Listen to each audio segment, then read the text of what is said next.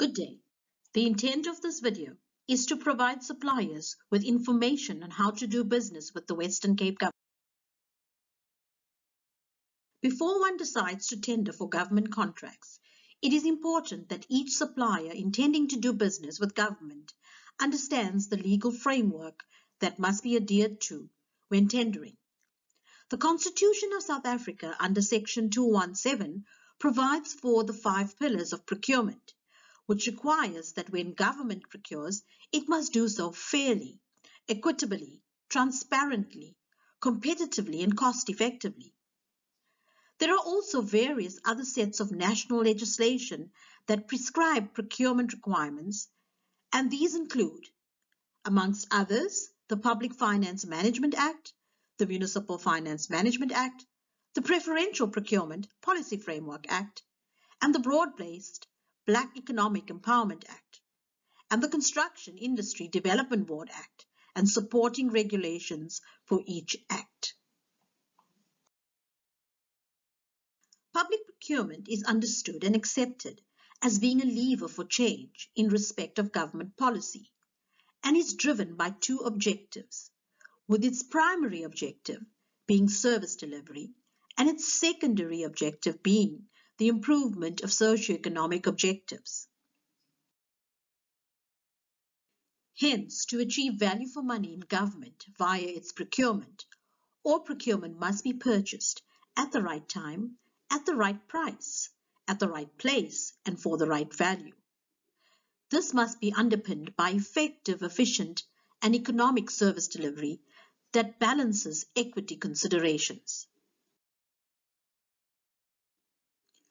What are the requirements to do business with the Western Cape Government?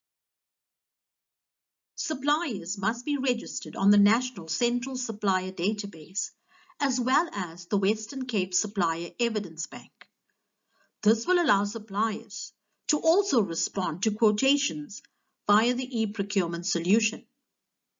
Suppliers will need to be tax compliant as well as provide government with its triple BEE affidavit or certificate. The compulsory bid document WCBD4, which is a declaration that the bidder has no conflict of interest or has disclosed any conflict of interest that it may have, including disclosure of past procurement performance and declaring that it has submitted and put its bid together independently of any collusive practices. It is also required for construction tenders that bidders register on the Construction Industry Development Board. Bidders must make sure that they are also adherent to all industry-specific requirements, where applicable, including adherence to any special conditions, bid specification requirements, and functionality criteria as applicable. Bidders must ensure that they also understand the specific bidding processes. With any organ of state in the Republic of South Africa, suppliers must first register on the National Central Supplier Database, also referred to as the CSD. The CSD is a self-registration portal that can be accessed via www www.csd.gov.za. After registration, suppliers need to log in and capture their business information. Once their business information has been successfully captured, a supplier number beginning with MAAA will be generated. Registration on the CSD is compulsory as the CSD is the primary database for all organs of state. Once a supplier has registered on the CSD, it will be eligible to register on the Western Cape Supplier Evidence Bank, also referred to as the WCSEB. The WCSEB utilizes the CSD as the master database of information that feeds into the WCSEB. The WCSEB houses compulsory governance documents and serves as a central repository of information. This then forms the basis or entry point to all Western Cape government tender processes. Frequently asked questions can be found on our website with answers to possible questions suppliers may have regarding database registration. The WCSEB registration documents can be found on the Provincial Treasury's website or alternatively physical documentation can be collected from the Procurement Client Center. So why register on these databases and engage in the Western Cape Government's e-procurement solution? The databases ensure that the Western Cape Government deals with compliant suppliers who abide by the law and procurement rules, and that such compliance is backed up by the evidence that supports the decisions made. The e-procurement solution provides opportunities to a wider spectrum of suppliers, stimulating competition, automating and streamlining procurement processes, thereby ensuring ease of doing business with the Western Cape government, affording better transparency and accountability, and assisting suppliers to tender. For procuring institutions, the system ensures better compliance to legislation, improved productivity, reduces paperwork and administrative costs, and ensures that government works with the latest and verified suppliers. It also provides mechanisms to easily detect tender irregularities, fraud and collusion between suppliers and officials, and ensures the accurate management of information that provides for an audit trail of all transactions that are dealt with via the system. The EPS provides tender opportunities for below a threshold value of 1 million rands, which are advertised to suppliers via the system. Suppliers are encouraged to grasp these opportunities, and they can do this by registering on the databases as indicated, but must also ensure that they select the correct commodities for which they can provide the requested goods and services. Ensure that as an interested supplier that you take note of these requirements. The Western Cape government also assists you to register on the CSD and the Western Cape SEB to enable suppliers to receive RFQs via the EPS.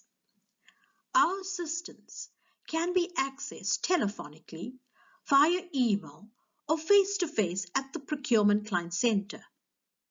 A video on how to register may be accessed via the link provided on the screen. Important issues that suppliers must note when tendering with government. Read all documents carefully and submit all requested information. Information submitted must also be complete.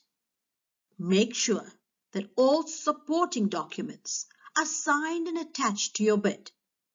Make sure that you cost your offer properly and have included all associated costing in your bid price. If you are ever in doubt as to what is required, please contact the supply chain management units or contact persons cited in the bid documents for clarity. Ensure that your bid complies with the bid validity period and that you can meet all the requirements within the specified timeframes. Also make sure that you will be able to honor the contractual requirements. Bids must be dropped in the identified bid boxes of procuring institutions, and the onus is on the supplier that its bid is deposited in the correct bid box. Note, late bids and bids dropped over the counter will not be accepted. When submitting RFQs via the EPS, ensure that timelines are adhered to and all supporting documents are attached.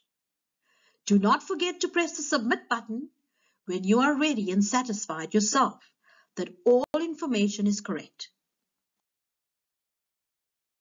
Some important points for suppliers to bear in mind is that suppliers need to understand the South African market and the evolving or emerging needs, why certain processes are necessary in government procurement, bidding processes and its associated rules, the importance of compliance and responsiveness to bids, readiness of the supplier's business to meet the specific tender requirements, how to enhance prospects of success, accessing tender opportunities, and engaging in meaningful competition, and finding ways to progressively up one's game.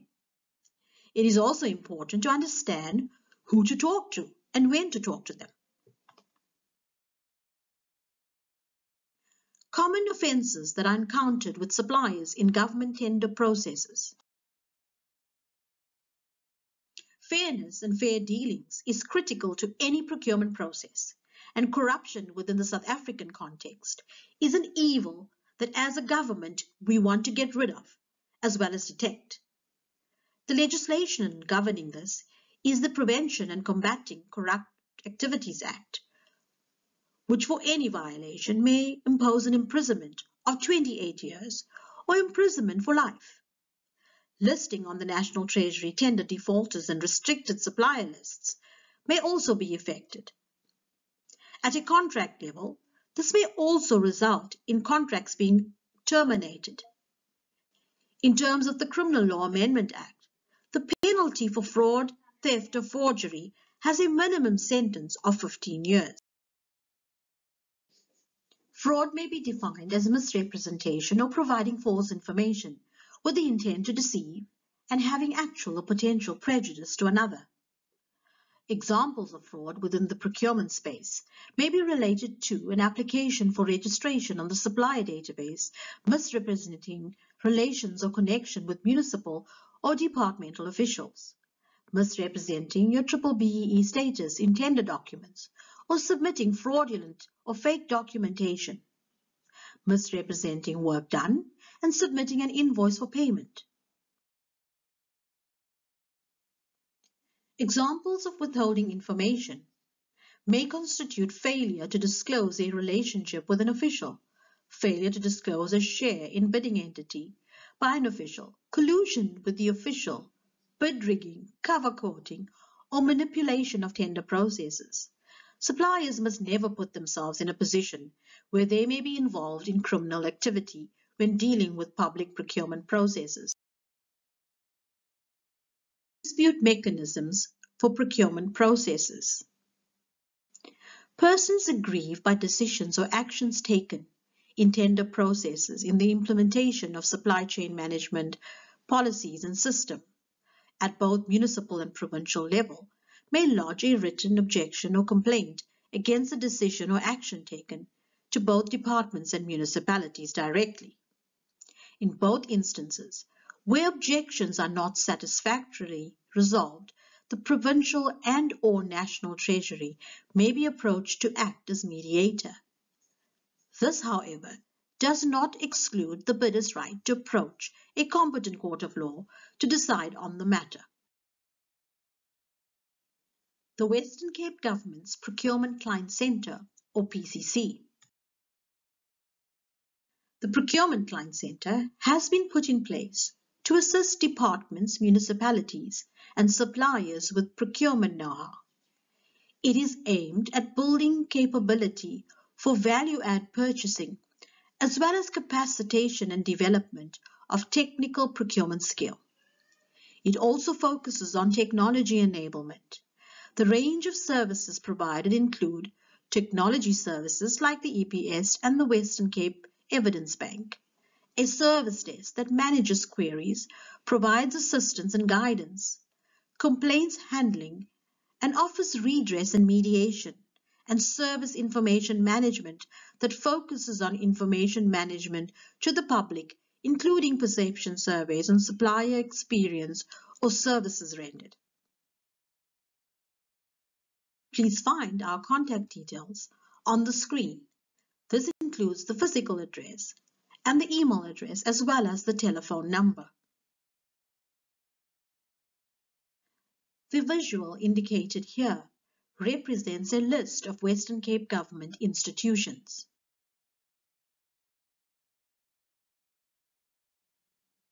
I thank you for watching and we hope that you found this information useful.